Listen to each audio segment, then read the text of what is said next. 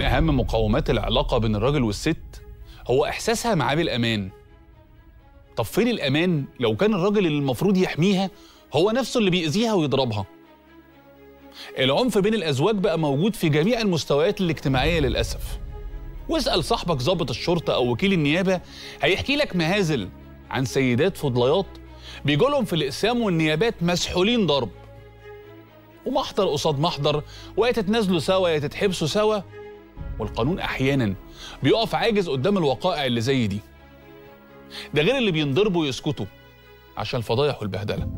المعدل عندنا أعلى بكتير من المعدلات العالمية والعنف ملوش علاقة بإنه الست مستفزة والراجل رد عليها لأنه الكلام ده كان بيتقال في أمريكا سنة 1995 في 96 في أمريكا عملوا حاجة اسمها الفايلنس أكت قانون مواجهة العنف.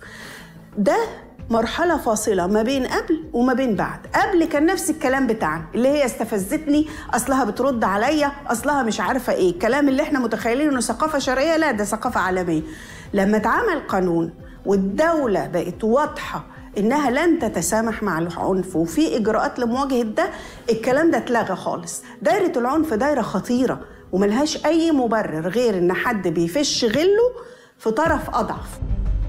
الحياة بالصورة دي اللي فيها عنف جسدي جسدي تجاه المرأة لا تستقيم يعني ما ينفعش تستمر لأنه هيبقى في عنف بالتالي تجاه الأولاد. أصل هو العنف عنف فهو البني آدم يا إما بيفكر بدماغه ويتكلم بلسانه يا إما بيفقد التفكير فبيستعمل إيديه.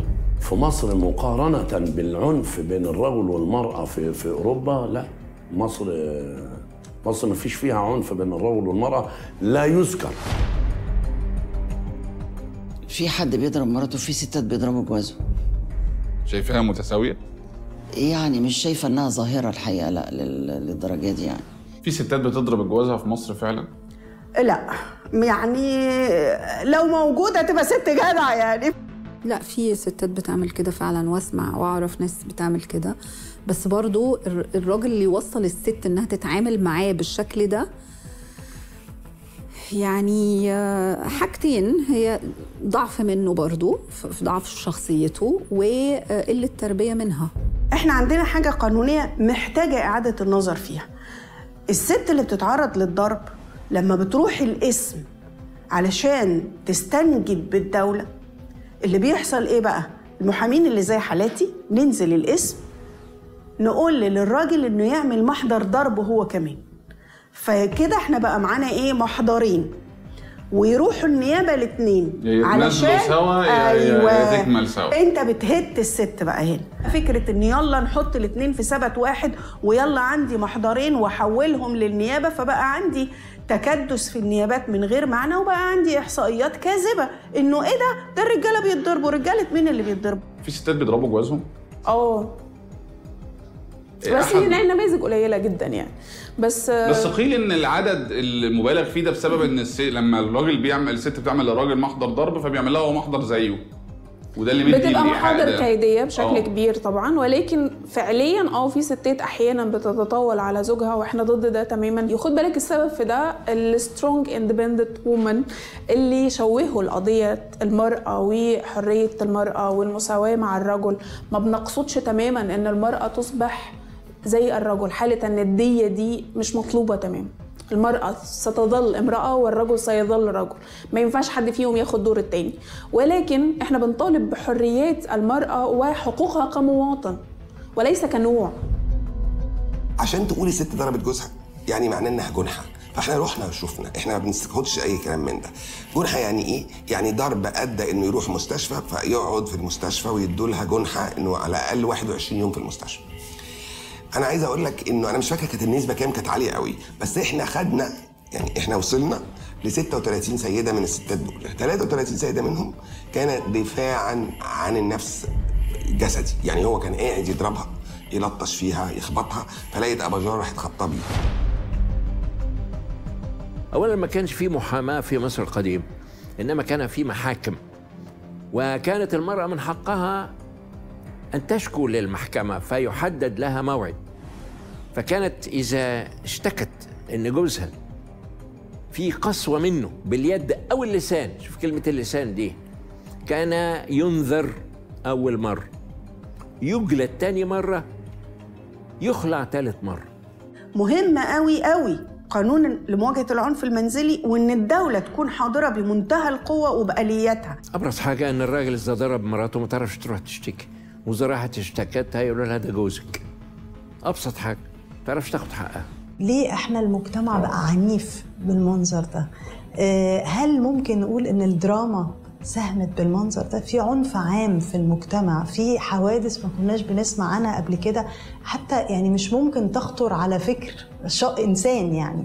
فأعتقد إن العنف ده مع مع مع يعني التعليم إن كان مستواه ضعيف جدا مع يعني عدم الوعي الثقافي مع الدراما اللي بتصور إن العنف ده حاجة سهلة وحاجة سلسة وحاجة مهمة مع فكرة تهميش المرأة كل ده تولد عنه عنف غير عادي وعنف أسري غير عادي بالتالي إنه المرأة بتبقى ضحية لحاجات كتير. أنا في رأيي اللي يمد إيده على واحدة ست ده مش راجل.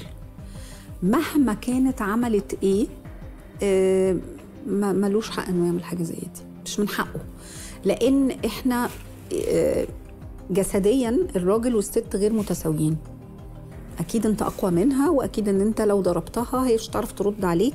حتى لو هي جسديا تقدر ترد عليك آه، مش من حقك تعمل حاجة زي دي. وفي الراجل اللي بجد عنده طرق كتيرة قوي يهذب بيها زوجته أو يعاقبها أو يحسسها إن هي عملت حاجة غلط غير إنه يمد إيده عليها. عندك حالات القتل ما بين النساء أكتر من 60% على يد الأزواج. ماشي؟ ليه بقى؟ هي قتل بدون دوافع قتل. يعني زقني زقته رزعني رزعته. هو بنيانه الجسماني أقوى منها أم رائعها؟ في سن حيطة أو في سن الدولاب الزان وقعت ميتة. طيب المخاطر الأكبر مش بس كده إن أنا ممكن الست اللي أقول لها إيه استحملي عشان العيال دي تبقى جثة بعد كده. لا ده ممكن الطفل نفسه يبقى جثة. إحنا واقفين بقى إيه هو بيزقها وهي بتزقه وعيل عنده سنتين في الأرض. اترزع شلوت في بطنه مات. العنف الجسدي هل شايف إن في عنف جسدي في العلاقات الزوجية كمحامية في مصر؟ آه طبعا جدا بشكل كبير جدا. عن- عنف جسدي ولفظي ومعنوي ومادي واقتصادي آه، بيمارس بشكل آه، آه، سلطوي على المرأة طول الوقت.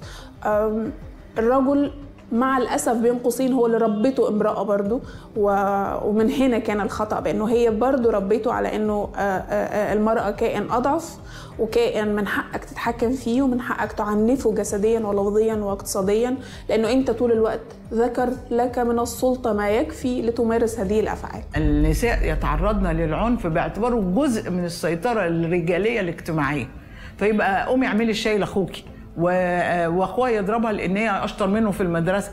يعني يبقى هنا التعبير عن نقص القوة. هل دي ظاهرة موجودة بقوة؟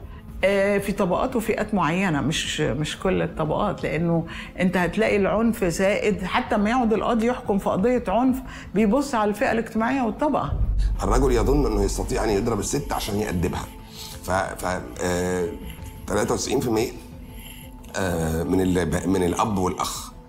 آه، يعني واحد كل 25% من الستات واحد كل أربعة بتتضرب آه، والبنات آه، في بيتهم يعني لغاية ما يعني ل- ل- لغاية 18 سنة أو لغاية 20 سنة مفيش واحدة فيهم ما اتضربتش الست بتحب الرجل القيادي.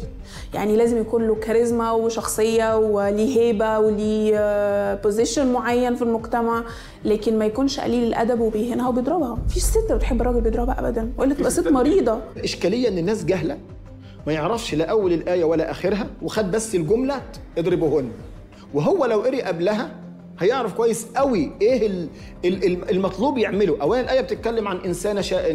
ناشز. ناشز يعني إيه حضرتك؟ يعني بترفض العلاقة الخاصة بينها وبين زوجها بدون سبب ما عندهاش علة. فيقوم يتكلمها بالحسنى يجيبها لحد يتكلم معاها بالحسنى ما فيش فايدة. يجيبها يهجرها يسيب لها البيت ولا يسيب لها الغرفة ما فيش فايدة. فيضربها ضرب غير تارك لأثر كده. طب إيه لازمة الضربة دي؟ الضربة دي بيقول لها إن المرحلة دي فاصلة بين إن الموضوع كان بيننا أنا وإنتي. كانش حد يعرفه ولا حتى الأولاد في البيت. لكن الضربة دي بتقول لك إن الموضوع هيخرج برانا. فابعثوا حكم من اهله وحكم من اهلها هفضح بقى السر. هقول إنك أنت ناشز. هقول إنك أنت رافضه العلاقة الحمية اللي بيننا. كده. ولو تركت اثرا يكون اثما.